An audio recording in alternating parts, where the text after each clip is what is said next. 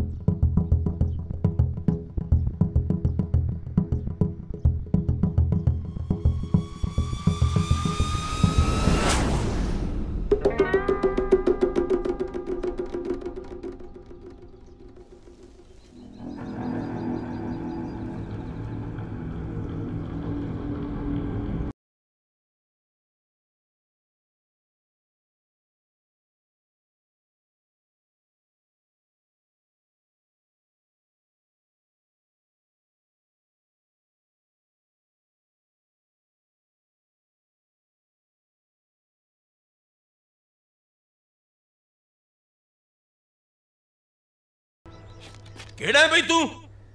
ਕੀ drama ਹੈ ਜਦ ਪਾਇਰ ਚ ਮਾਰੇ ਨਾ ਤੂੰ।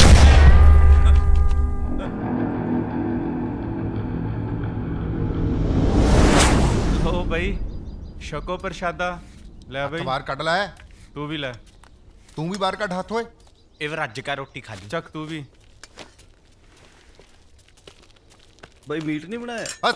ਸਾਲਾ ਮੀਟ ਦਾ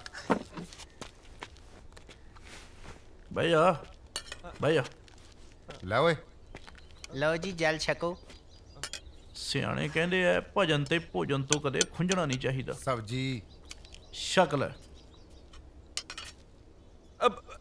ਚੌਨਾ ਕੀ ਹੈ ਆਪਦੇ ਖੇਤ ਮੁੱਲ ਪੂਰਾ ਦਿਉ ਫੇਰ ਖਾਦਾ ਰੌਲਾ ਕੋਈ ਰੌਲਾ ਹੀ ਨਹੀਂ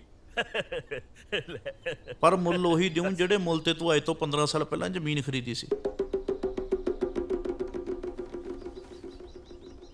15 ਸਾਲ ਪਹਿਲਾਂ ਜਿਹੜੇ ਮੁੱਲ ਤੇ ਜ਼ਮੀਨ ਖਰੀਦੀ ਸੀ ਅੱਜ ਉਸ ਮੁੱਲ ਤੇ ਕਿਵੇਂ ਮੋੜ ਸਕਦਾ? ਦੇਖ ਲਾ।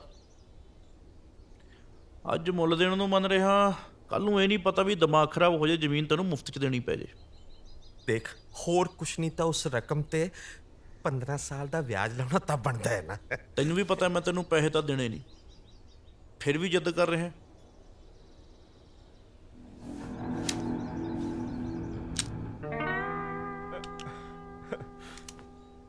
ਦੇਖ, ਤੈਨੂੰ ਵੀ ਇਹ ਚੰਗੀ ਤਰ੍ਹਾਂ ਪਤਾ ਵੀ ਤੂੰ ਇਹ ਜ਼ਮੀਨ ਬੈਂਕ ਤੇ ਸੰਗੇ ਵਰਗੇ ਲੈਂਡ ਮਾਫੀਆ ਨਾਲ ਰਲ ਕੇ ਧੋਖੇ ਤੇ ਜਲਸਾਜੀ ਨਾਲ ਖਰੀਦੀ ਹੈ। ਤੇ 100 ਚੋਂ ਤੇਰੇ 90 ਕਿੱਲੇ ਵੀ ਇਸੇ ਚੱਕਰ 'ਚ ਬਣੇ ਹੋਏ ਨੇ। ਨਹੀਂ, ਤੇਰੇ ਕੋਲੇ ਇਹੋ ਜੀ ਕਿਹੜੀ ਗਿੱਦੜ ਸਿੰਘੀ ਆ ਓਏ?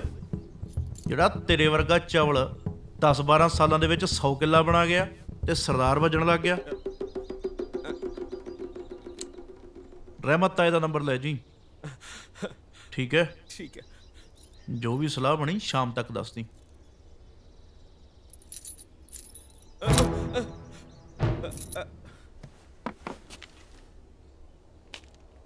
ਨਾਲੇ ਆਹ ਜੀਪ ਜੀ ਘੱਟ ਦੱਬਿਆ ਕਰੋ। ਕਿਤੇ ਇਹ ਨਾ ਹੋਵੇ ਸਾਰੇ ਟੱਬਰ ਸਮੇਤ ਨਹਿਰ ਚ ਰੁੜੇ ਹੋਵੋ। ਤੇ ਪੁਲਿਸ ਤੁਹਾਡੇ ਕਤਲ ਦੇ ਕੇਸ 'ਚ ਮੈਨੂੰ ਭਾਲਦੀ ਫਿਰੇ।